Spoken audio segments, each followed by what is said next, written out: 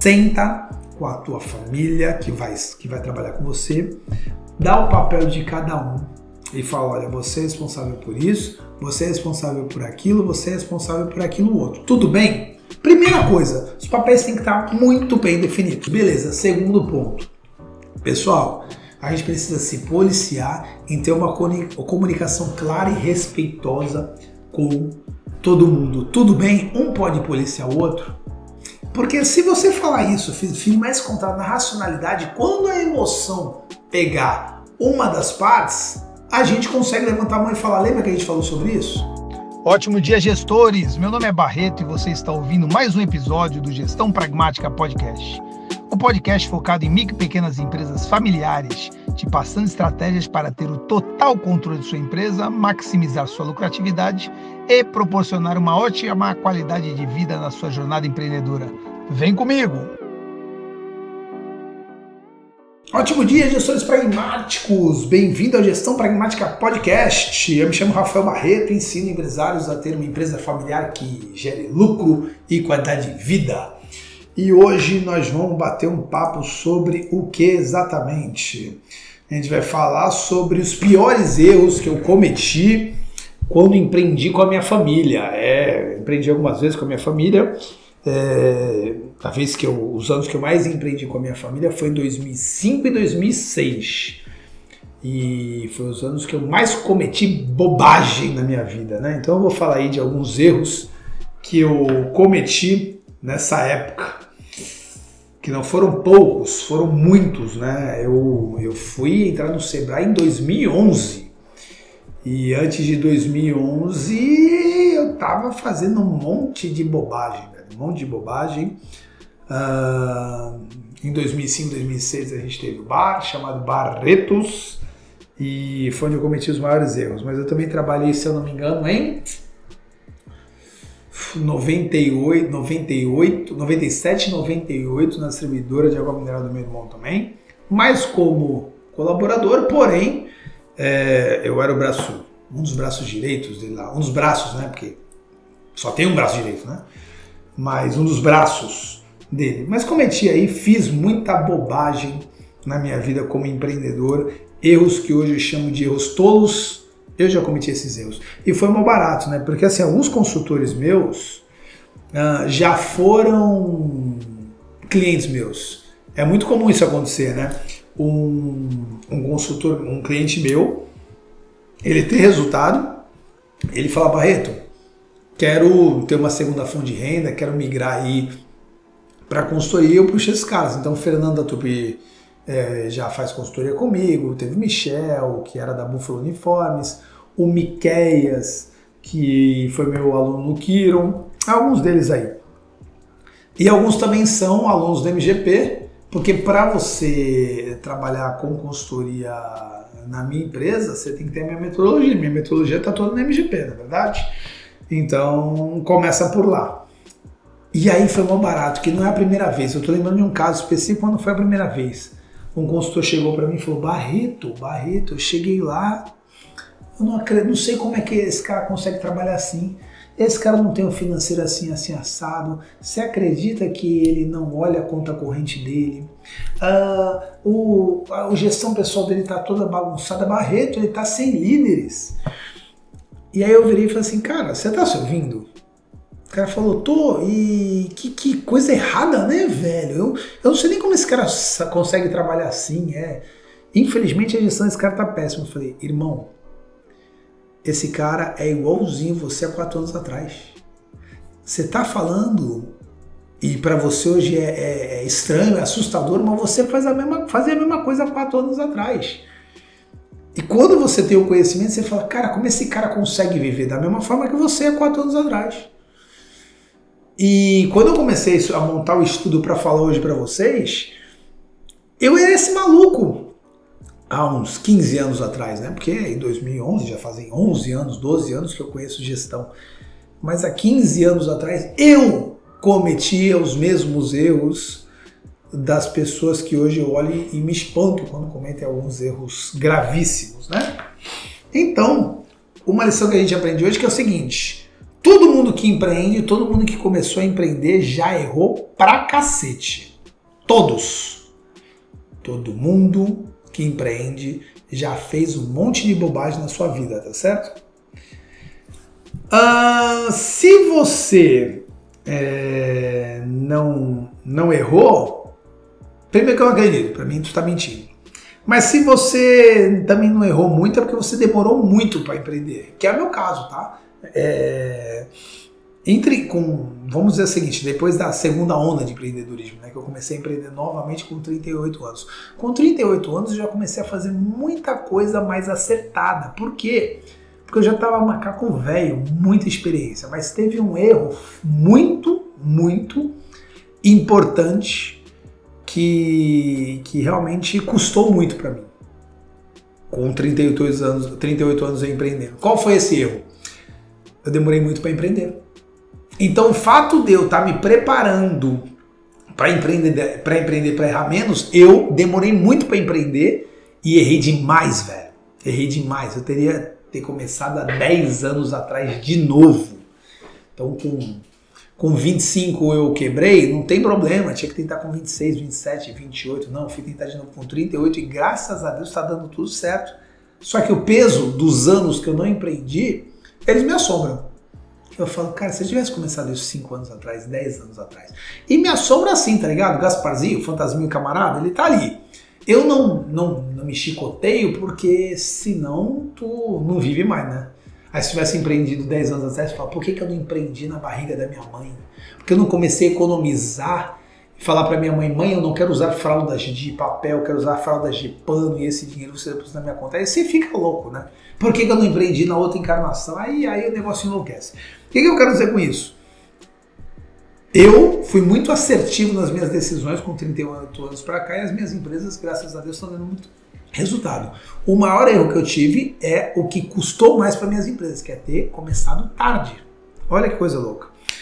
Então, porque você pode aprender a, a, a, empreender na teoria. Na teoria você pode aprender, nossa, que gostoso, ó. Eu li um livro aqui, uma, a Bíblia do empreendedorismo, o livro negro do empreendedorismo, o lado B do empreendedorismo o código Morse do empreendedorismo.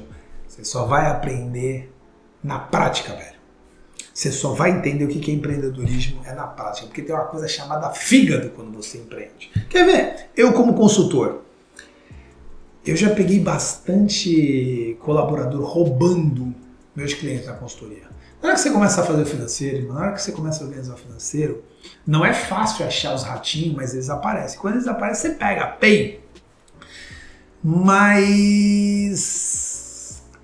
E aí eu sempre peguei, o pessoal falou: esse rapaz aqui tá fazendo isso, e eu, com toda a racionalidade, com toda a calma do mundo, eu pegava e fazia as coisas corretas. Dispensava as pessoas, se precisasse aí entrar em alguma, algum acordo. Até o dia que eu peguei desvio dentro de uma das minhas empresas. E aí? Como é que fica o teu estômago quando você é o envolvido no assunto. Porque quando eu sou consultor e eu sou uma espécie de auditor, uma espécie de polícia e pego alguém do meu cliente, eu falo, olha, peguei. É até, é até legal para mim mostrar o meu trabalho. Olha, peguei. Se não fosse eu, não tinha pego. Né? Lógico que eu não quero que o meu cliente seja roubado, mas se ele está sendo roubado, é bom que eu pegue. Eu mostro para ele.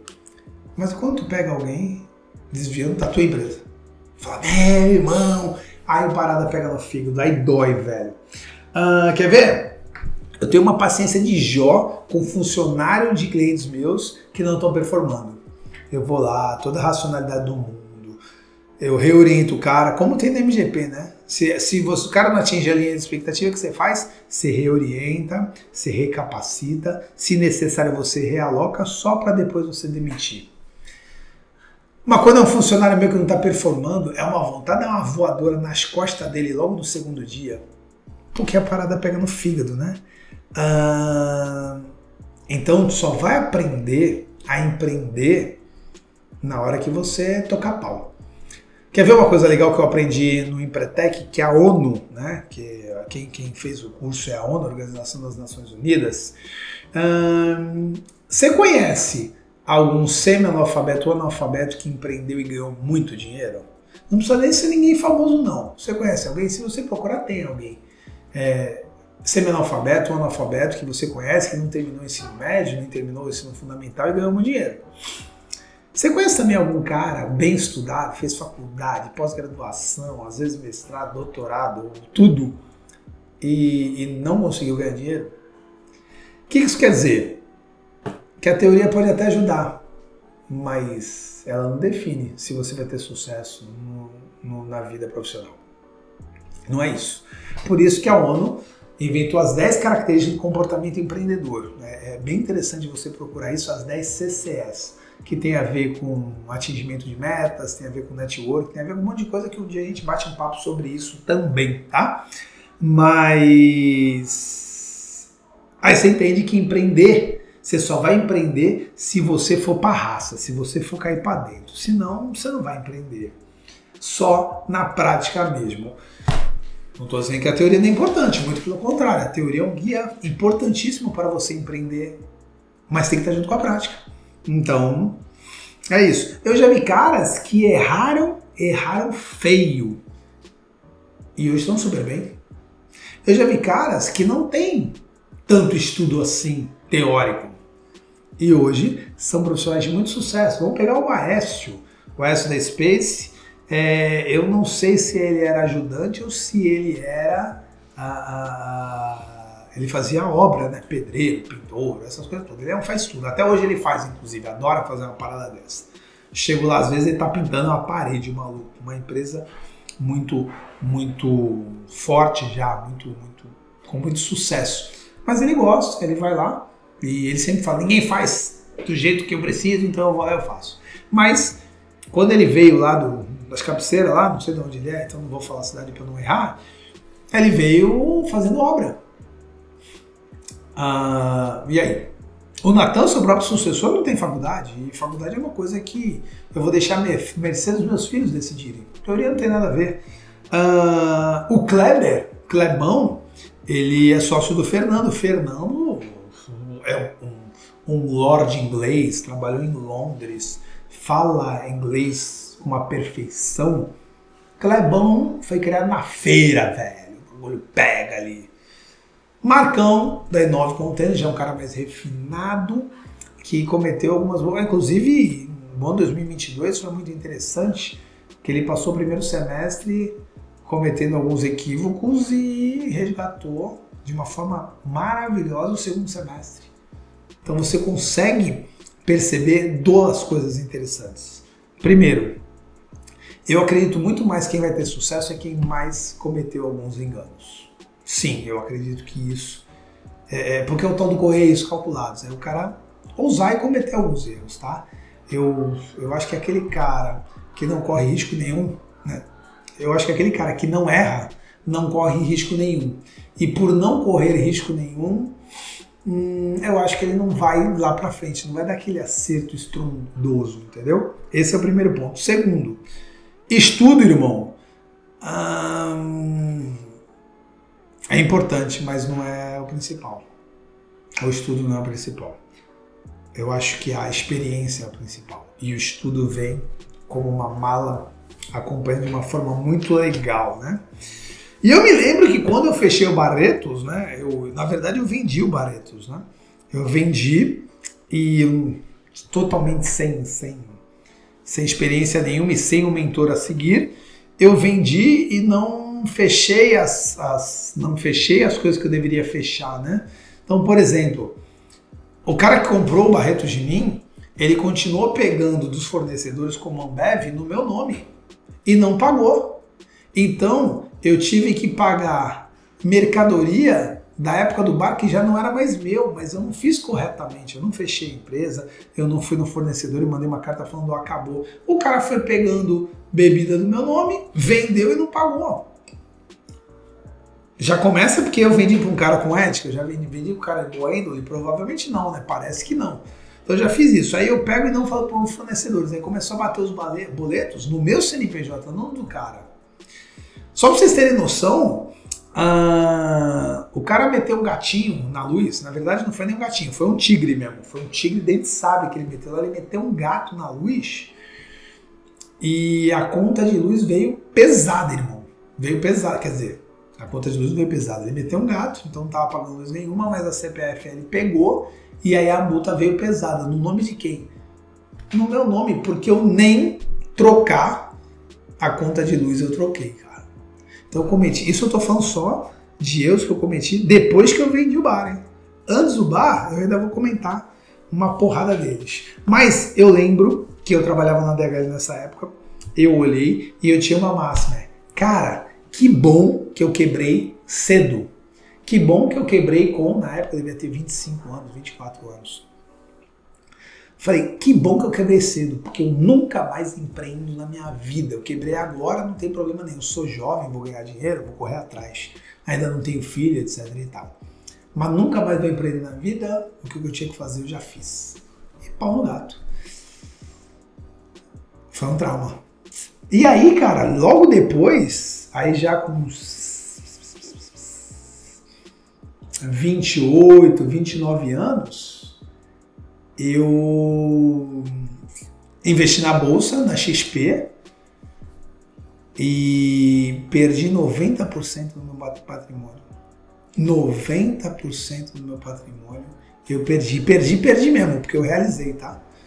Foi na época que a, a Ibovespa né, saiu, saiu na bolsa e a, B, e a BMF também saiu na bolsa, se eu não me engano, e eu perdi, perdi feio, perdi 90% do meu patrimônio na época.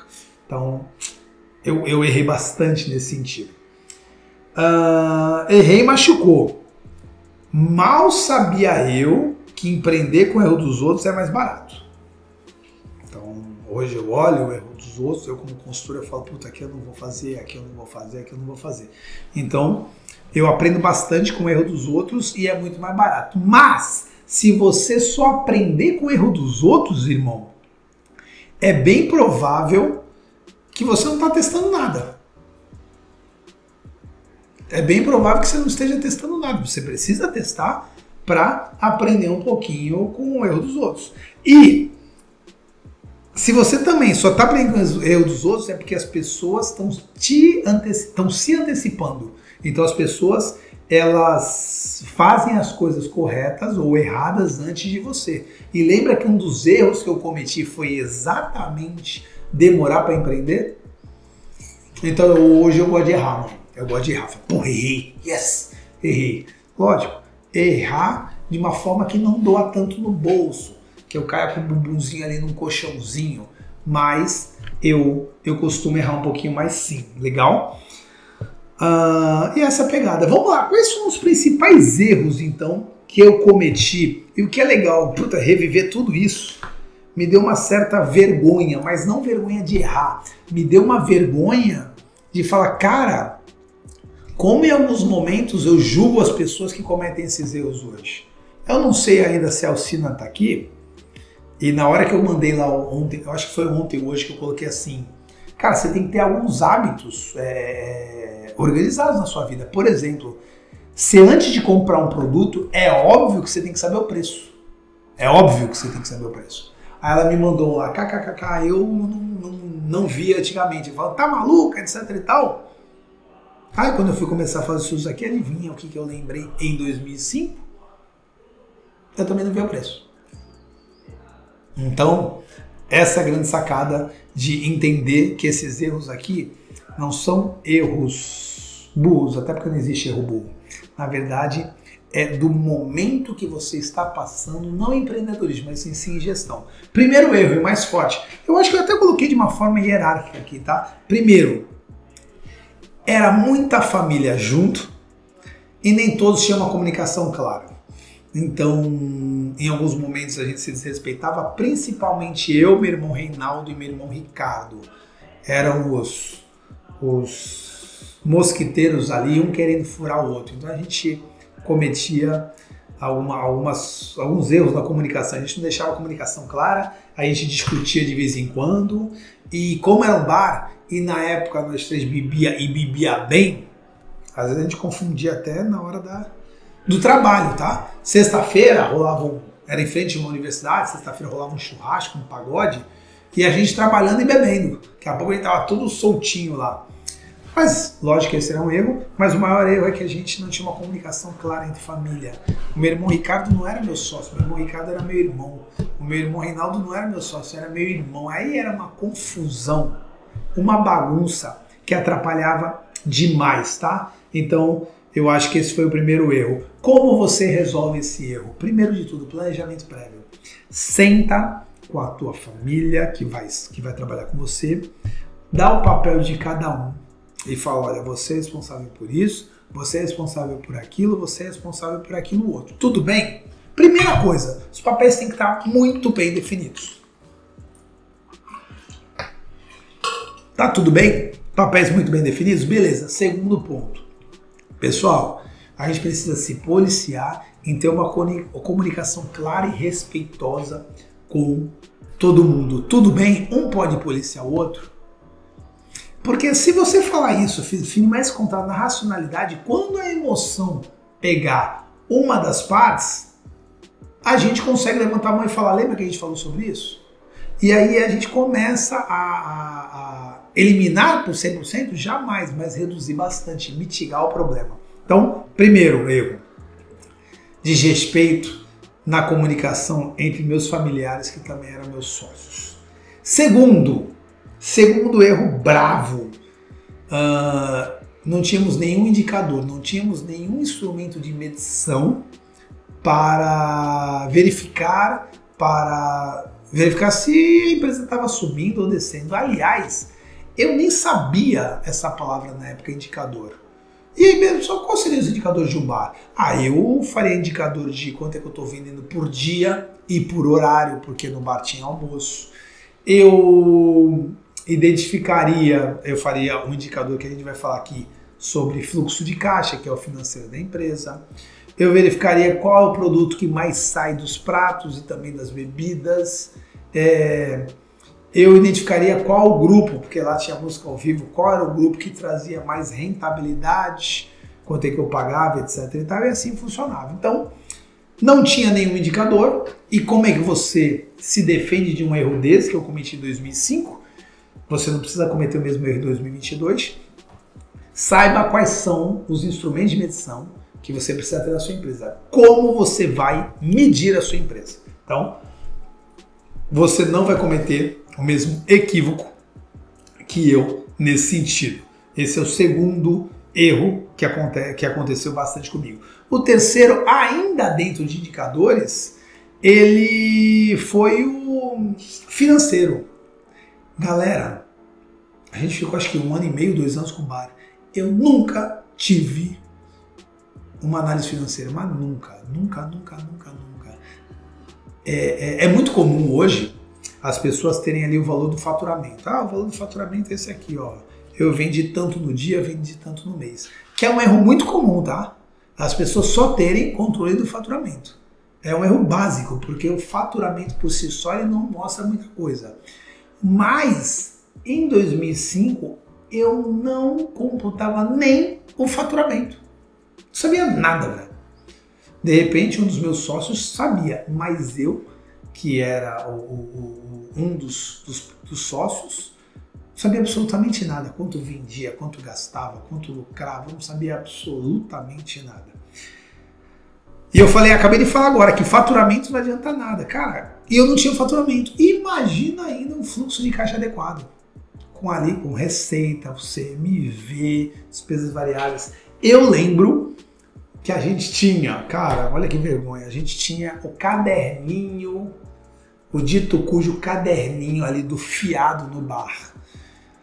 E a molecada, o que adivinha que a molecada fazia? Metia fiado na gente, metia fiado, a gente ia ver o caderninho lá, botava o nome dos malucos, pá, pá, pá, pá, e os malucos pegando cerveja, comendo, pegando cerveja, para supostamente no outro mês pagar. E aí começavam aquelas confusões. Virava um mês eles pagavam só metade da dívida, aquilo tudo. Eu lembro de dois casos muito interessantes e horríveis que aconteceu com esse caderninho. Primeiro, que um dia sentou uma mesa lá com umas oito pessoas comendo, bebendo, comendo, bebendo, comendo, bebendo, comendo, bebendo.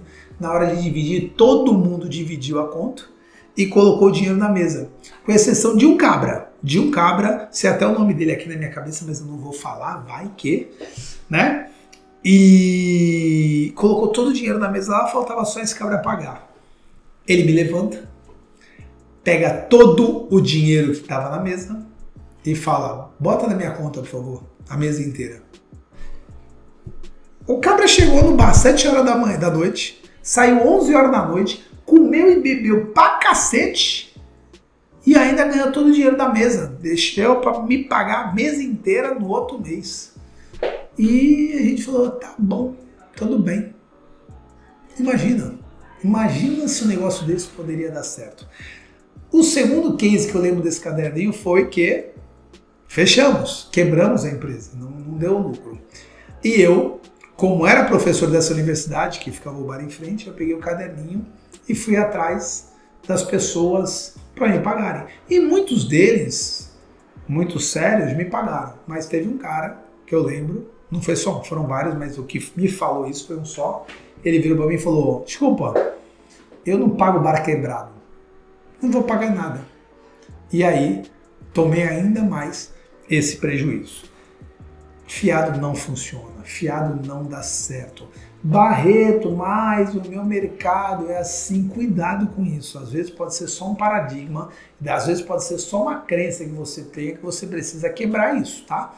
É, salvo raríssimas exceções, você ainda consegue fazer um crédito, não é nem fiado é crédito. Salvo raríssimas exceções, é, isso acontece aí.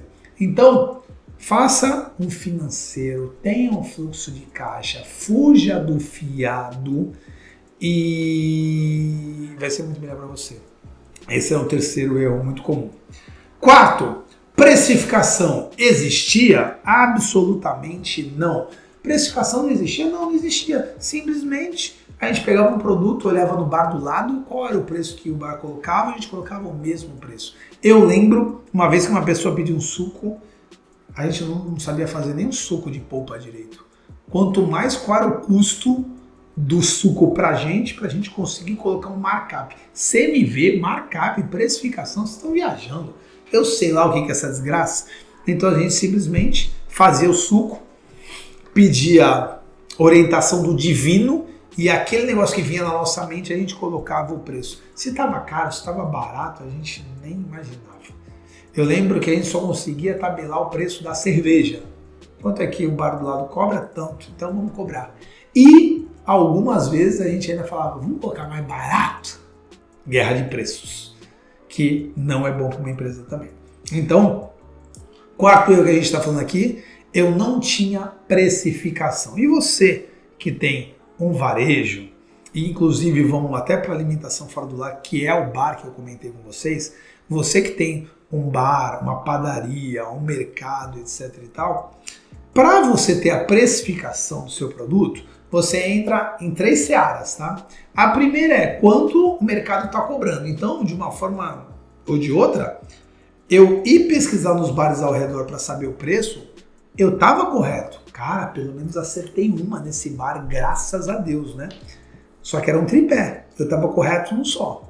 Segundo, quanto o teu cliente está disposto a pagar? Por quê? Porque uma cerveja num botecão, ela vai custar um preço. Cerveja numa balada sensacional em São Paulo, ela vai custar outro preço. É o mesmo produto e, e bens diferentes, é outro preço.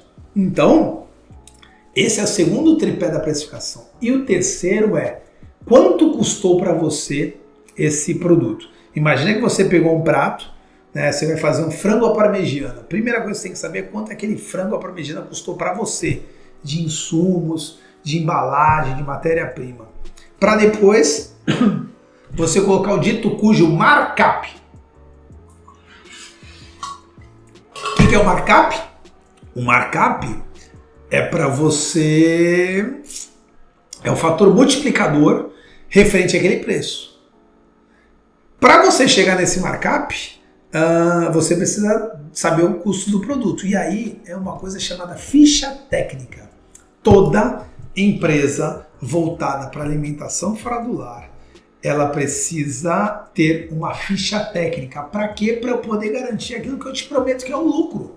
Se você não tem ficha técnica, você não sabe exatamente quantos gramas de cada produto vai no seu prato. Se você não sabe quantos gramas eh, de produto vai no, no seu prato, você não sabe preço, custo, é, é, ver o preço daquele produto para você. Porque vamos lá, tem 300 gramas de frango, legal, quanto é que está o quilo do frango? Ah, tá 10 reais. 300 gramas é 3 reais. Você consegue colocar o custo do produto.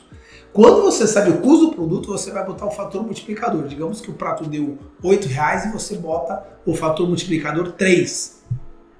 3 vezes 8, 24. Então, dos 8 para os 24, que tem 16 reais aí, a tua margem de contribuição, que vai te auxiliar a ter lucro, que é uma das promessas que a gente tem aqui. Quais são? Uma empresa com mais lucro, certo? Uma empresa que vai gerar mais qualidade de vida para você, empresário. E terceiro, ter uma empresa familiar que você tenha sucesso na empresa e tenha sucesso também na família. Então, uh, eu não tinha nada disso, eu não tinha ficha técnica e logo não tinha precificação, nada disso funcionava para mim. 5. Marketing. Galera, de sexta-feira a gente tinha um pagodão lá. Grupo Fundamental, lembra até hoje, Grupo Fundamental. Os moleques tocavam pra cacete, era legal. Aí, quinta-feira, eu quis colocar um voz e violão. Eu coloquei na época, se eu não me engano, o nome do menino era Nando. O moleque tá até estourando por aí. Eu também, depois que entrou no, cantou no Barretos, lógico que vai estourar todo mundo. Se eu não me engano, Roberto Carlos começou lá também. Uh, e aí, o Nando é, tocava de quinta-feira e ninguém ia, porque eu não divulguei em lugar nenhum. E aí eu queria divulgar também um pagodão no sábado. Só que sábado a faculdade não funcionava. Eu tentei fazer um pagodão, dois, três, quatro sábados, e só apareceu o grupo de pagode. Não apareceu mais ninguém. Então tava eu e o grupo de pagode. Os caras levaram uns instrumentos alto pra cacete, velho umas caixas de som que tu ouvia na rua inteira.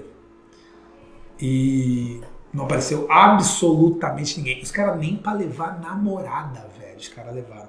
E aí, eu fiz marketing, velho. Como é que os caras vão saber disso?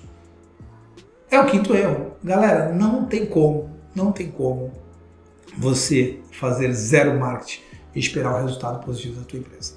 Você precisa trabalhar o marketing da tua empresa. Não estou dizendo para você gastar os tubos com marketing, mas que você precisa fazer o marketing da sua empresa, você precisa. Nesse, usando o mesmo exemplo do grupo de pagode, eu vou falar o meu sexto erro, que era esperar retorno imediato. Eu coloquei o grupo de pagode, não apareceu ninguém. Eu coloquei pela segunda vez, acho que eu botei terceira, quarta vez e falei, meu irmão, não dá certo. E lógico, já tinha cometido erro de ter feito marketing e tudo, mas um outro erro que eu cometi nesse mesmo exemplo é esperar retorno imediato. Coloquei o grupo de pagode, o pagode explodiu. Cacete! Não é assim que funciona. Eu falo bastante aqui, né? As empresas que a gente mais admira, que têm sucesso, elas têm mais de 10 anos de vida. E eu queria que na quarta semana eu estivesse bombando de ganhar dinheiro. Não vai rolar. Se você quer ter retorno imediato, eu te aconselho a. Se você ainda não empreende, tá? Porque às vezes se você empreende já e dá uma atacada, tem alguma ideia, você tem retorno imediato. A gente chama até isso de quick win. Mas se você não empreende e quer retorno imediato, pensa em trabalhar como funcionário. Porque o retorno é no máximo 15 dias ali que você recebe a, a, tua, a tua grana. Cid, meu parceiro, Cid é uma das peças fundamentais do grupo Baratão das Tintas que eu não falo mais quantas lojas tem, porque eu falo, ah, tem 24, o Cid e o Marcos me falam, não, não tem mais 24, tem 25. Aí eu falo 25, eles falam, não, não tem 25, tem 26. E assim vai, né? Cid, um abraço, meu amigo, saudade de vocês aí, manda um beijo para todo mundo. Então, cara, não tem retorno imediato no empreendedorismo. É, você vai plantar para colher depois, você tem que seguir a lei da colheita, não tem como. E a lei da colheita ela, ela é muito legal, né? Isso daí a gente pode usar para tudo. Tem muita gente que usa para a parte bíblica, tem muita gente que usa para para evolução de vida, mas a lei da colheita ela, ela tem alguns exemplos muito legais. Primeiro, se você planta morango, você vai colher morango. Não adianta você plantar morango querendo colher maracujá. Ou seja, se você está fazendo coisa boa agora, provavelmente você vai colher coisa boa lá, lá na frente. Esse daí todo mundo conhece. Mas uma coisa que eu gosto bastante da lei da colheita também é que não adianta você querer acelerar, porque a colheita precisa passar pelo seu tempo. E quando eu falo tempo, eu falo tempo de minutos e tempo de clima. Isso também vai acontecer na sua vida. Né? Um dos caras que eu sigo bastante, que é o Érico Rocha, ele fala: uma mulher mais nove meses tem um filho. Não dá para trazer nove mulheres e um mês ter um filho. Uma mulher mais nove meses tem um filho. Nove mulheres e um mês não se tem filho. Então, é mais ou menos assim que funciona. Essa semana eu estava no escritório de advocacia. Escritório de advocacia tem uma coisa muito interessante. Escritório de advocacia, na maioria das vezes, eles ganham muito por resultado. Né? Lógico que eles têm vários outros trabalhos né, de, de honorários, de, de consultoria, eles ganham honorários, etc. e tal. Uh, recebem às vezes mensalidades, mas o grosso de muitas, muitos escritórios de advocacia são os resultados. Você recebe os resultados, né? É, por resultado, 20% do resultado, 30% do resultado. E às vezes você sabe que algo na justiça demora 2, 3, 4, 5 anos.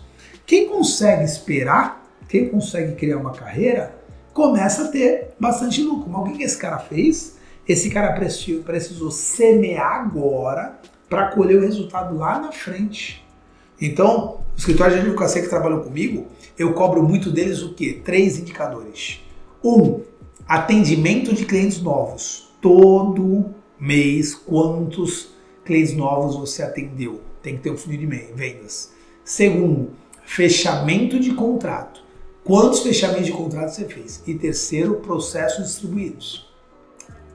Por quê? Vamos lá. Se há cinco anos atrás eles fizessem, é, esse escritório fazia 50 novos atendimentos, 30 fechamentos de contrato, porque 20 só foi atendimento mesmo e não quis fechar contrato com a gente, 30 fechamentos de contrato, e aí processo distribuído vai ser parecido, né? Às vezes um pouquinho menos, às vezes um pouquinho mais, porque vira o um mês. Então 50 atendimentos novos, 30 fechamentos de contrato e 30 processos distribuídos. E hoje essa empresa ela tem uma receita mensal de cerca de 50 mil reais. Só que agora, depois de cinco anos, ele não faz mais 50 atendimentos novos. Eles estão ah, ganhando bastante dinheiro, estão tranquilos e agora estão fazendo 25 atendimentos novos por mês. E aí estão fechando 15 contratos e cerca de 15 processos distribuídos. O que vai acontecer daqui a 5 anos? Se antigamente você colhia 50, plantava 50 e hoje está colhendo 50 mil reais, a partir do momento que você divide pela metade os atendimentos novos, os fechamentos de contratos e os processos distribuídos, daqui a 3, 5 anos você vai colher o quê? Metade do que você ganha hoje. Inclusive, isso que é o tal da síndrome do sapo fervido, aquela analogia, você coloca o sapinho na água, esquenta a água, ele vai sentindo que está gostoso em água quente até que ele morre cozido. Se você não perceber, você vai morrer cozido. Escola é muito assim. Quantos alunos você tem hoje? Ah, eu tenho 500 alunos, estou bombando. Pô, legal, parabéns. Pô, passou esse ano aí Covid, eu estou com 475, perdi 5% dos alunos. Ah, tudo bem, acontece. Covid, pois esse ano de eleição foi complicado, né? Eu abaixei para 400 alunos. Passaram-se dois, três anos você perdendo 5, 10, 15%, daqui a pouco você está no prejuízo. E para você voltar esse número de alunos, às vezes você não consegue mais. Começa a faltar dinheiro em caixa, você começa a não dar valor para algumas coisas na, na tua escola, como pintar, como reformar fachada, material didático de qualidade, e aí mais gente vai saindo. Então cuidado com a tal do síndrome do sapo fervido. Então, um dos erros que eu estava comentando aqui era esperar o retorno imediato. Eu não queria plantar para colher. Eu queria que a, o meu plantio fosse um miojo, em três minutos tivesse retornado. E o sétimo, que foi um dos mais pesados também, eu dimensionei muito mal os custos. Só para você saber, nessa época eu já era supervisor de exportação marítima, alguma coisa lá da DHL, e também professor universitário. Então eu, relativa, eu ganhava relativamente bem dois salários. Então eu como colaborador, eu tinha dois salários interessantes. E eu falei pro meu irmão, pede as contas do teu emprego para tu gerenciar o bar pra gente e eu, em algum momento, até te ajudo com o teu custo de vida. E meu irmão foi muito inteligente de falar, não, eu vou fazer melhor. Eu vou colocar o meu sogro para tocar de manhã de tarde, que ele já está aposentado, e eu saio do meu trabalho e vou pro bar à noite. Se meu irmão não tivesse feito isso e ele tivesse me ouvido, porque essa ideia foi minha, eu lembro até hoje, eu falei, cara, eu vou te ajudar com o teu custo de vida e você vai pro bar. É, teríamos dois problemas muito sérios na família. Primeiro, porque eu não ia conseguir custear o custo de vida dele, da família dele. Era ele, a esposa dele e os dois filhos dele. Eu não sei onde estava com a cabeça. Eu sei. Sabe onde estava a cabeça? Na soberba, na arrogância, na viagem do moleque de 25 anos que fala: zerei a vida eu acho que eu sou o próximo presidente do Brasil. Eu embabaquei, eu virei um babaquinha na época. Mas o meu irmão, nesse ponto, ele, ele foi muito mais assertivo do que eu e ele não pediu demissão. Então eu falei que teria dois problemas. O primeiro é que eu não ia conseguir custear o meu irmão, eu ia ter dificuldades financeiras. E segundo que meu irmão teria perdido o emprego dele para uma aventura que não funcionou de um ano, um ano e meio. Eu dimensionei muito mal os custos. Eu lembro que não foi só isso. A gente também comprou algumas, alguns, uma geladeira, um freezer, etc e tal, que a gente não estava preparado. Então, foram alguns equívocos. Nesses equívocos, inclusive, foi o carro do meu irmão Reinaldo também, que meu irmão injetou o carro no bar. Desde 2005, meu irmão Reinaldo não tem carro. Ele jogou no bar, mas aí ele comprou a motinha dele e ficou feliz. Foram esses os sete principais erros que eu cometi empreendendo com a minha família. Um, muita família sem comunicação clara e até a comunicação desrespeitosa. Então isso feriu muito a nossa promessa de empresa familiar, né? Ali a gente estava tendo fracasso profissional e fracasso familiar. Esse erro machucou bastante. Segundo, não tínhamos instrumentos de medição. E por a gente não ter instrumentos de medição, ah, eu não sabia para onde a empresa estava indo. Terceiro, não existia financeiro. Se não existe financeiro, como é que eu vou saber se a empresa está lucrando ou não? Hoje, a gente fala que você tem que ter uma empresa familiar com lucro e qualidade de vida. Eu desrespeitava a minha família. A empresa familiar era uma bagunça. Eu não tinha financeiro. Como é que eu vou saber se lucrava? Então hoje o que, que eu falo para vocês, eu não fazia em 2005. Também não tinha precificação, também não sabia se estava vendendo correto. Provavelmente alguns produtos eu estaria, deveria estar vendendo errado. Né? Uh, pô, olha só, meu irmão, o Gabigol aqui, para mim, melhor consultoria da Baixada Santista e um excelente líder. Cara, o Gabigol aí, o Gabriel, ele é responsável por gestão da qualidade das 10 Wizards que a gente tem aqui no grupo. Quatro no Guarujá, quatro em Santos, uma em São Vicente e uma Praia Grande. Gabriel, você é meu parceiro. E faz uns clientes ocultos para mim aí. Não olhem muito para a fotinho dele não, porque um dia ele pode aparecer na tua empresa para ver se a tua empresa está prestando serviço de qualidade. Precificação existia. Galera, é bem provável que algum produto ou outro eu vendia por um preço menor do que eu pagava. Galera, lembrei de um negócio. Eu vendia muito cigarro e teve uma hora que começou a aparecer uns cigarros em inglês lá para vender no caixa. Sim, eu peguei cigarro de um lugar mais barato, que provavelmente era o quê? Contrabandeado. Doideira, né? Mas foi em 2005 isso, já se passaram 17 anos, eu acho que já prescreveu, eu não posso ser mais preso por recepção de, receptação de contrabando. E galera, com todo respeito do mundo, eu não fiz na maldade. Simplesmente eu achei um cigarro mais barato. Falei, cara, vou comprar esse aqui, cara, que era. Só que tava em inglês e tudo, provavelmente era algo que não tinha fiscalização, era algo legal, de repente até falsificado. Quatro é a precificação. Quinto, marketing, falta de marketing. Eu achava que marketing era o quê? Desperdício, que marketing era bobagem e que marketing ia levar o dinheiro. Porque marketing, como é intangível e muita gente não sabe fazer indicadores de marketing até hoje, as pessoas acham que é bobagem. Sexto, esperava um retorno imediato. Se você esperar retorno imediato numa empresa que você está montando, não espere ou não monte a empresa. E sete, dimensionei muito mal os custos. Eu vejo demais isso acontecer. Galera, resultado disso, em 2006 eu fechei a empresa, mas eu fiquei com esse gosto amargo na boca, pagando conta até 2007, 2008. Eu paguei muita conta, tomei muito prejuízo por causa disso. E é por isso que eu tô aqui duas vezes a semana falando com vocês, é por isso que eu sempre tô fazendo live, é por isso que eu sempre tô no Reels, porque eu não quero que você cometa os mesmos erros que eu.